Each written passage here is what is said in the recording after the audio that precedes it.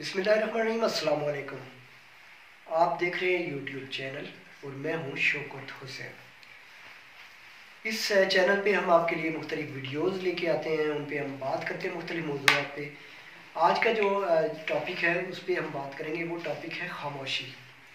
अच्छा खामोशी पे कई वीडियोज़ आपको मिलती हैं, मैंने भी मुख्तलिफ़ वीडियोज़ बनाई हैं, एक दोस्त की फिर रिक्वेस्ट पे मैं इस पर आ रहा हूँ। कि खामोशी को अगर आप समझ लें, खामोशी की ज़बान अगर आप जानते हैं ना तो आप ये समझ लें कि आपने दुनिया का एक बड़ा इल्म हासिल कर लिया है। खामोश रहना, खामोशी इख्तियार करना और खामोशी, ये सबसे बस चीज़ है। ये आपको बहुत सारी चीज़ों से बचा के रखती है। और खामोशी आप ये समझें कि एक हज़ार सवाल का जवाब है और इसके एक हज़ार मानी है।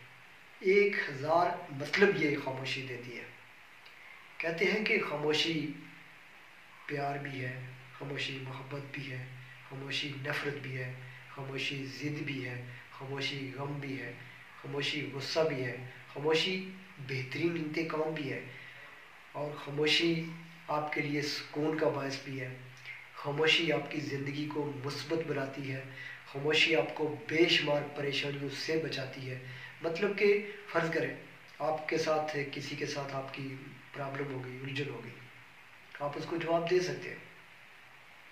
लेकिन आप ये समझते हैं कि जो जवाब मैं इसको दूँगा, उसके बाद हमारे दरमियान ताल्लुक ठीक नहीं रह सकते ताल्लुक टूट जाएँगे, ताल्लुक ख़राब हो सकता है।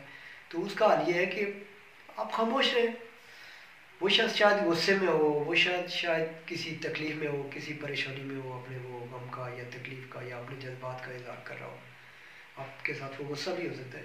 तो आप ऐसा करें कि आप खामोश हो जाए और उसको कहें कि ठीक है, अगर कोई, चूँकि जब आप खामोश रहते हैं तो सामने वाला ये कोशिश करता है कि आप बात करें, आप कुछ ना कुछ बोलें, कुछ ना कुछ लफ्ज़ आपके मुँह से निकले।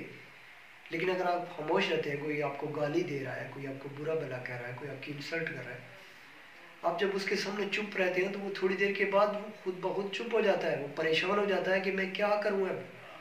इसको कैसे मैं अब जो है ना वो इससे मैं कुछ बात करवाऊँ? तो खामोशी आपको बेशुमार उलझनों, बेशुमार परेशानियों, बेशुमार तकलीफ़ों बल्कि गमों से बचाती है। आप अपनी खामोशी को जो है अपनी नेचर बना लें हर मौके पे जब कभी भी आप देखें, बड़ों के सामने तो वैसे भी नहीं बोलना चाहिए, छोटों के सामने भी, गैर ज़रूरी सवालों का जवाब कभी ना दें। आपको सवाल का जवाब आता भी है तब भी ना दें। आप कोशिश करें कि आप खामोश रहें। तो उसका आपको फ़ायदा मिलेगा आपकी लाइफ में, आपके तल्लक में, आपके रिश्ते में, आपकी रिलेशनशिप जो भी चीज़ है।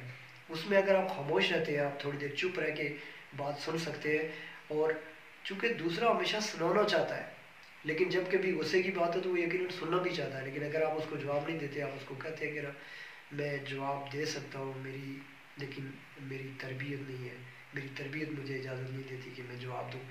मैं खामोश रहना चाहता हूँ। तो जो मर्ज़ी है कहता रहे।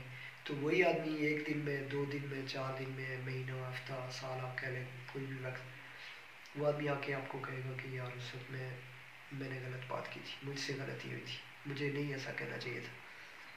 तुम वाकई बहुत अजीम हो, तुम वाकई बहुत अच्छे हो। तो मतलब ये कि खामोशी आपको कई चीज़ों से बता, बचा सकती है, कई चीज़ों से आपको उलझनों से, परेशानियों से बचा सकती है। इसका एक्सपेरिमेंट करना चाहिए, इसकी आदत बनानी चाहिए और कोशिश करनी चाहिए। आप अपनी रोज़मर्रा की गुफ्तु में, जहाँ कहीं भी आप बैठते हैं महफिल में तो खामोशी कहते हैं ना कि अगर कोई जायल आदमी भी खामोश बैठा हो तो दूसरा डर रहा होता है कि पता नहीं है कितना जानने वाला होगा। तो खामोशी एक बड़ी आप कह लें कि आपके लिए, आपकी ज़िंदगी में, लाइफ स्किल्स में एक ऐसी चीज़ है कि इसको ज़रूर अपनी आदत में शामिल करें।